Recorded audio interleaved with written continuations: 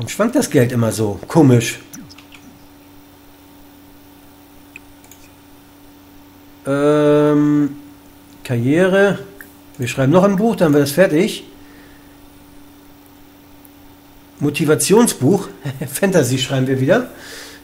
Motivationsbuch, was soll ich da schreiben, bitteschön? Ah, ich mal hier, Dings hier. Der Zauberhut. Was war mal der Zauberhut? Der Zauberhut. Ich weiß gar nicht, worum es geht da, der Zauberhut. Der Zauberhut, der Zauberhut. War das hier mit den Hexen? Ich glaube, das war das erste Hexenbuch, der Zauberbuch. Hut. Oh, weiß ich jetzt gar nicht mehr. Schon lange her, wo ich es gelesen habe. Habe ich nie mehr so richtig Erinnerung. Ähm, noch ein Scheibenwelt-Roman. Ja, das ist die Gonzaga von der Scheibenwelt. Der Zauberhut fällt mir gerade nicht so ein. Was wir mit Escarina?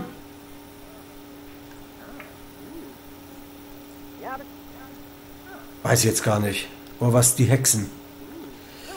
Das kann auch sein, dass mir Hexen noch war.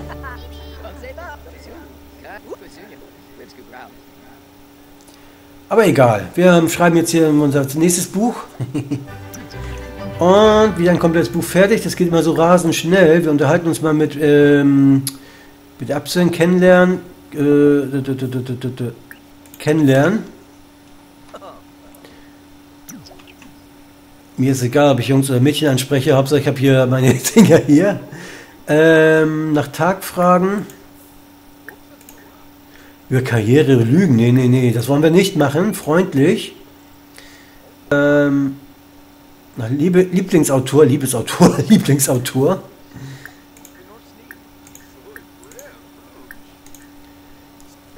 Nach Tag fragen, Tag verschönern, tratschen. Dam, dam, dam, dam, dam.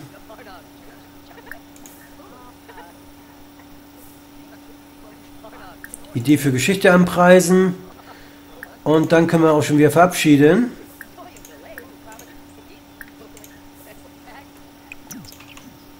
An Verlag verkaufen. Der Zauberhut.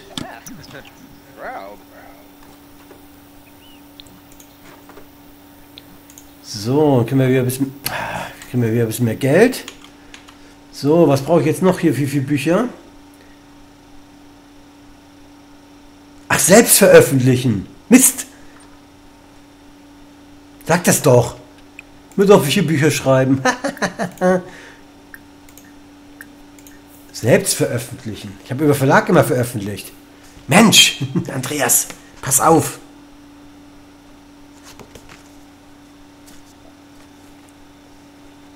Nee, nee, jetzt kommt ein ganz toller Titel.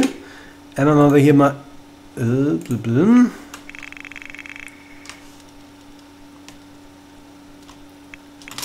Eine Intrige, ein Mord an einem König, der als Selbstmord dargestellt wird. Und der Titel ist Macbeth. Ja, das ist die Parodie auf Macbeth.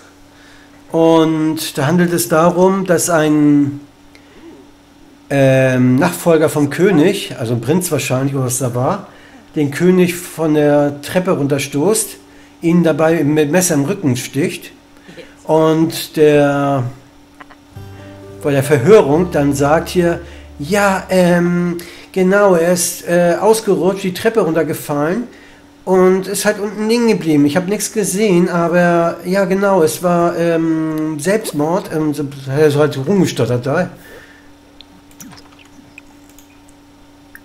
Selbst veröffentlichen. Macbeth. Halt! Was machst du da? Teile plündern und wegwerfen.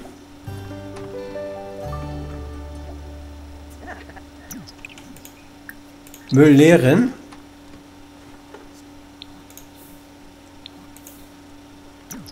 So, was haben wir... Was macht er jetzt hier?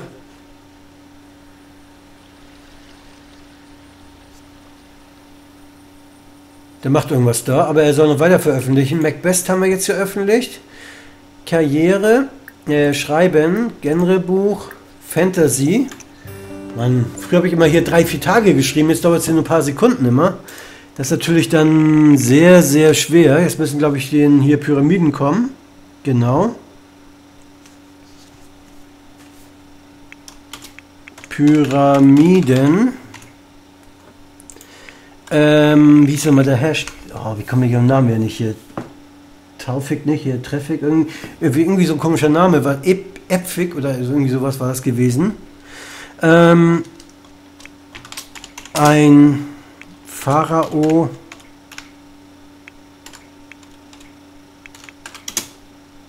will die größte Pyramide der Welt bauen. Allerdings hat es sehr schwere Folgen. Bei dem Buch handelt es sich um ein Land, das eine Pyramide baut. Allerdings durch die Größe der Pyramide wird die kosmische Energie so stark entladen, dass ähm, derjenige Staat halt auf die sich plötzlich umdreht durch das Gewicht der Pyramide und dann plötzlich auf den Kopf liegt. Und die beiden verfeindeten Länder, die getrennt waren durch das ähm, ähm, ähm, ähm äh, durch den Kontinent, der dazwischen lag, das Land, sind jetzt nebeneinander und die bekämpfen sich und beide bauen ein trojanisches Pferd und wollen den anderen damit halt hier in die Falle locken, aber da die beiden dasselbe Taktik haben, greifen natürlich beide nicht gleichzeitig an hier, weil sie denken, dass die das Pferd rüber. halt so eine Verarschung ist das, ne? Das ist sehr, sehr lustig, das Buch. Allerdings ist es auch sehr, sehr schwer zu genießen. Ja, ja, geh auf Toilette. Ähm, dann gehen wir kurz duschen. Ah. Säubern. Und dann machen wir kurz mal Essen. Was essen wir diesmal? So viel Auswahl haben wir hier. Das ist ein richtig geschwärzter Barsch. Omelette. Omelette nehmen wir, ne? Da willst du mal teurer essen hier. Wir haben ja so viel Geld.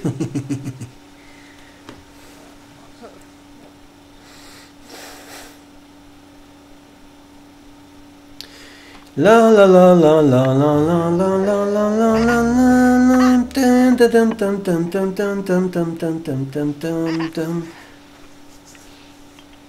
Teppik heißt er, genau, Teppik. Ich habe seinen Namen wiedergefunden. Das ist der eine Pharaonprinz, der versucht dann die Welt zu retten. Oh, wieder kaputt hier, reparieren. Teile plündern und wegwerfen. So, mal gucken, was wir machen können hier. Äh, verbessern. Robuste Armaturen. Eine Tour, damit die Wanne nicht so schnell kaputt geht. Andreas muss folgendes verwenden. Zwei gewöhnliche... Ah, dafür sind sie da. Das ist gut. Davon habe ich ja genug von den Tuning-Teilen, ne?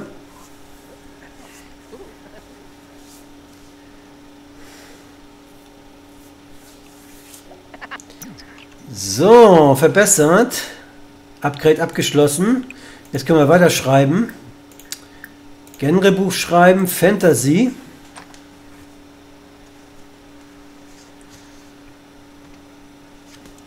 Jetzt kommt ein sehr schönes Buch. Auch von Terry Pratchett.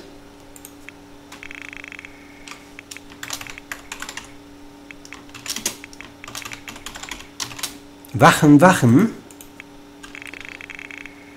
ähm, die hiesige Polizei muss einen mysteriösen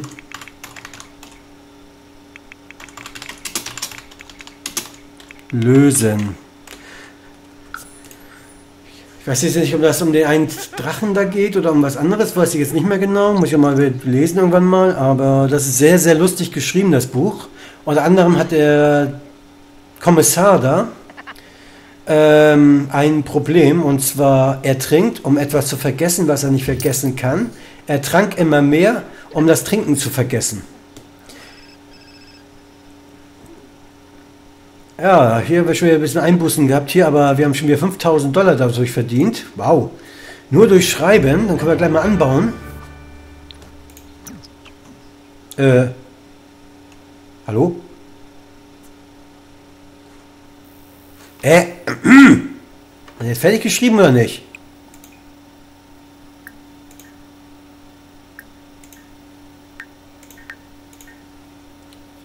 Warum schläft er jetzt draußen? Selbst veröffentlichen.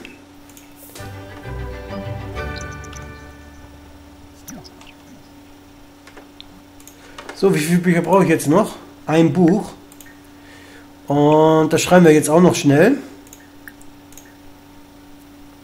Kurzgeschichte, Motivationsbuch, Science Fiction können wir jetzt auch bauen. Ah, schreiben meine ich bauen.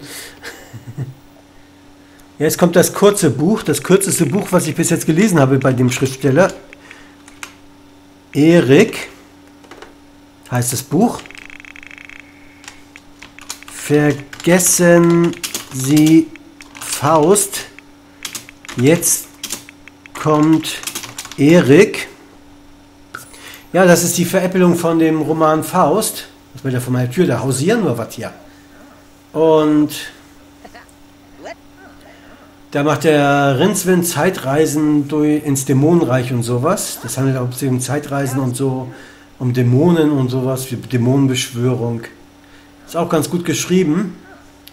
Aber ich würde sagen mal, mir jetzt nicht so persönlich so nicht so gut gefallen, aber es waren ein paar lustige äh, Sachen mit drin, aber war ganz gut das Buch. Ähm, warum ist das schon wieder so faul hier?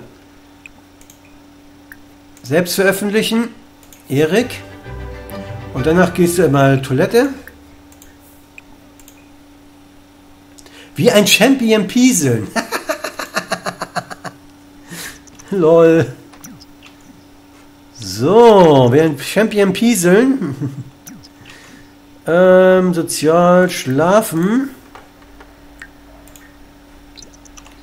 Jetzt haben wir alle Bücher geschrieben wie wir schreiben sollen. Dann können wir nächstes Mal wieder aufsteigen.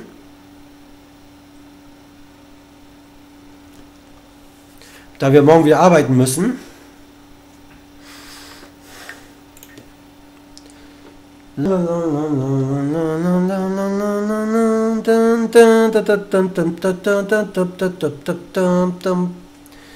So, die Eingangshalle ist groß genug hoffentlich. Vielleicht machen wir noch ein bisschen größer auf der Seite. Mal gucken.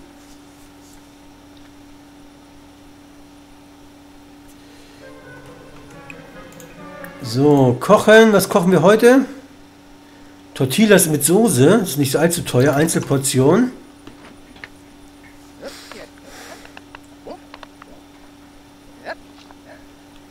Jetzt weiß ich schon gar nicht mehr, wie lange ich aufnehme. Jetzt hat er eine Framerate von 55. Das ist richtig geil mit Bandicam. Das ruckelt überhaupt nicht, das Spiel. Das finde ich gut. Mal gucken, wie es bei Eurotrack und so aussieht dann. So, gefuttert hat er, sozial kann auch gebrauchen, das ist mitten in der Nacht. Das heißt,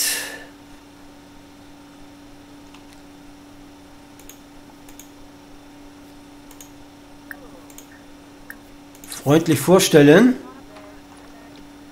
So mit einem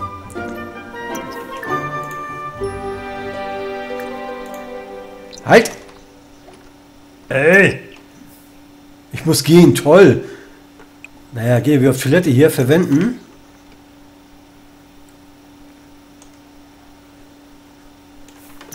Obwohl, die Breite müsste eigentlich lang, ne?